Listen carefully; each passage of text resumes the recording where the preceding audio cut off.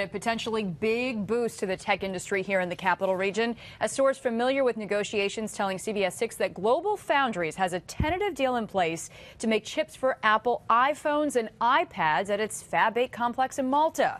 Our Brandon Lewis is live in Malta tonight. Brandon, Global Foundries not commenting specifically on this deal. They did tell you, though, what a new customer like Apple would mean for business locally.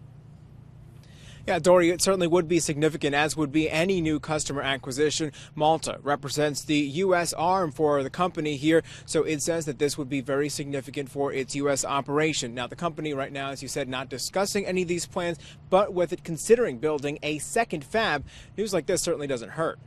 On the same day, Global Foundries welcomed its neighbors. Sources close to negotiations tell CBS 6 the multinational company also welcomed a new customer.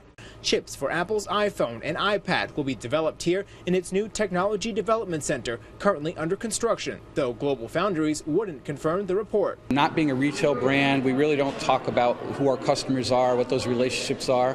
So we're excited that we continue to build and ramp the facility, but we really don't get into particulars about customers. For the last six months, analysts speculated Apple would turn to Global Foundries to increase its chip making capacity. The source indicates Samsung, which works with Apple on chips, will help set up manufacturing here.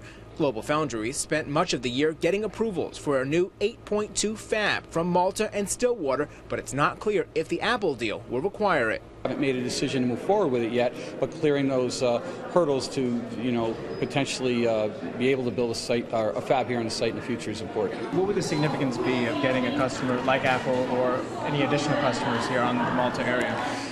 Yeah, um, the New York asset uh, is, is, the U.S. Uh, um, um, location for our global company.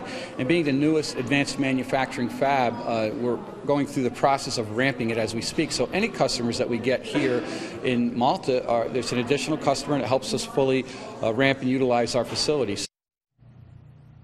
Now, tonight we also reached out to Malta's town supervisor. He says any deal would be great for Malta and the Saratoga County area, but because this has been rumored for many months, he's going to hold off publicly celebrating until the deal is publicly announced. Now, tonight we did also reach out to Apple and Samsung. Both did not return our phone calls or emails. Reporting live in Malta, Brandon Lewis, CBS 6 News.